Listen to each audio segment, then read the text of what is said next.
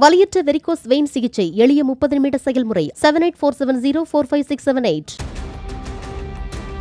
Aftab தன்னை கொன்று துண்டு துண்டாக வெட்டி கூறு போட்டு விடுவான் என்ற அச்சத்துடன் கடந்த இரண்டாயிரத்து இருபதாம் ஆண்டு காவல்துறைக்கு அளித்த புகாரில் ஷர்தா வால்கர் குறிப்பிட்டுள்ளார். தாம் சேர்ந்து வாழும் காதலனின் கொடூர குணத்தை முன்கூட்டியே அறிந்து காவல்துறைக்கு புகார் அளித்திருப்பது தெரிய வந்துள்ளது இதனிடையே ஆப்தாப்புக்கு காய்ச்சல் ஏற்பட்டுள்ளதால் அவனுக்கு நடத்தப்பட இருந்த உண்மை கண்டறியும் பாலிகிராஃப் சோதனை ஒத்திவைக்கப்பட்டுள்ளது. இதற்கு முன்பாக ஆப்தாப்புக்கு பல்வேறு தொடக்கநிலை பரிசோதனைகள் நடத்தப்பட்டன.